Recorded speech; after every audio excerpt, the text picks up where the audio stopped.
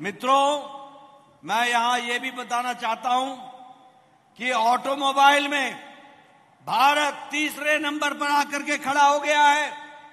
हमने जापान को पछाड़ दिया है। भारत फार्मास्यूटिकल्स में दवाई बनाने में दूसरे नंबर पर आकर के खड़ा हो गया है। हमने दुनिया के देशों को पिछाड़ दिया है और आज भारत सबसे सस्ती और सबसे असरदार दवा बना रहा है। हमारा भारत आज पेट्रोकेमिकल्स में तीसरे नंबर पर खड़ा है। आज हमारा भारत इस्पात में, स्टील में दूसरे नंबर पर खड़ा है।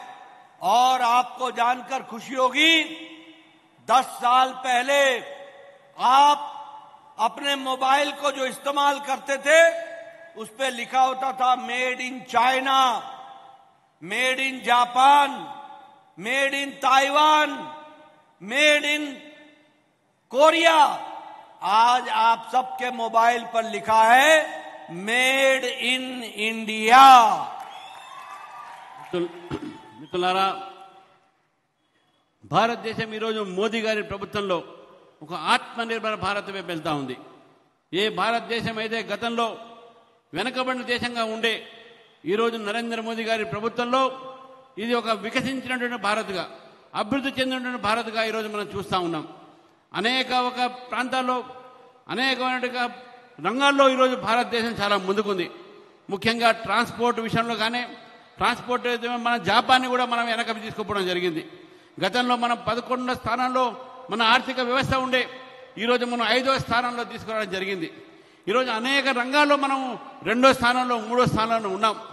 ఏ మొబైల్ ఫోన్లు అయితే మనం వాడుతున్నామో గతంలో ఆ mobile phone made in China made in Taiwan made in Korea ఇవన్నీ ఉండడే కానీ ఈరోజు మీరు ఒక్కసారి మీ మొబైల్ ఫోన్ తీసుకుంటే అది మేడ్ ఇన్ ఇండియా ఉంది. అది భారతదేశంలో ఉన్నటువంటి తయారైనటువంటి మొబైల్ ఫోన్. ఇవన్నీ కూడా నరేంద్ర మోదీ గారి యొక్క ప్రభుత్వంలో తయారైనటువంటి ఒక అభివృద్ధి. మనం ముందుకు పోతా ఉన్నాం. భారతదేశము అభివృద్ధి మార్గంలో పోవాలనేది నరేంద్ర మోదీ గారి లక్ష్యం. ఈరోజు గోమాత శ్రీనివాస్ గారు మనకు అభ్యర్థి. వారు మన ముందున్నారు కాబట్టి వారిని కూడా అందరూ కూడా ఆశీర్వాదం చేసిన అవసరం ఉంది. భారతదేశం ఏదైతే అభివృద్ధి చెందుతుందో ఈరోజు ప్రపంచం మొత్తంలో కూడా చూస్తున్నారు. ప్రపంచం మొత్తంలో కూడా అగ్రస్థానంలో భారతదేశం ఉంది అన్ని రంగాల్లో అని చెప్పేసి కూడా తెలియజేయాల్సిన అవసరం ఉన్నది. మిత్రో మోదీజీనే వికాస్ కెలియే ఇన్ఫ్రాస్ట్రక్చర్ లాజిస్టిక్స్ इस पर बहुत ज़ोर दिया है। और इसलिए उन्होंने कहा, हीरा हीरा का मतलब है H for highways I for internet R for railways और ए फॉर एयरवेज आपको जानकर खुशी होगी कि आज भारत छप्पन हज़ार किलोमीटर सड़क नेशनल हाईवे बना चुका है। 56,000 किलोमीटर्स। 52,000 किलोमीटर्स रेल का ट्रैक का इलेक्ट्रिफिकेशन हो गया है और हाईवे को आगे बढ़ाने का काम हुआ है। लगभग डेढ़ लाख पंचायत को इंटरनेट से जोड़ने का काम हुआ है। और दो लाख पंचायत में कॉमन सर्विस सेंटर खड़ा कर दिया गया है।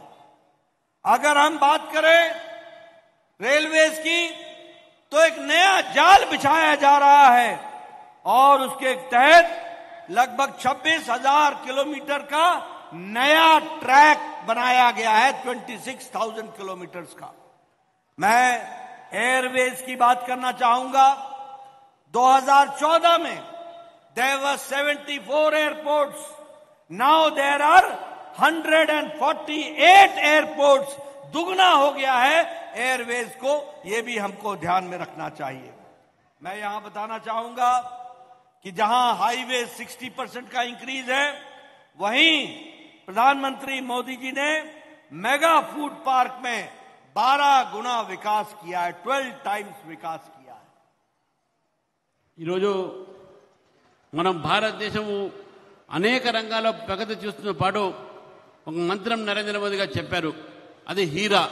అంటే హైవేస్ ఇంటర్నెట్ రైల్వేస్ ఏ అంటే మళ్ళీ రైల్వేస్ ఎయిర్వేస్.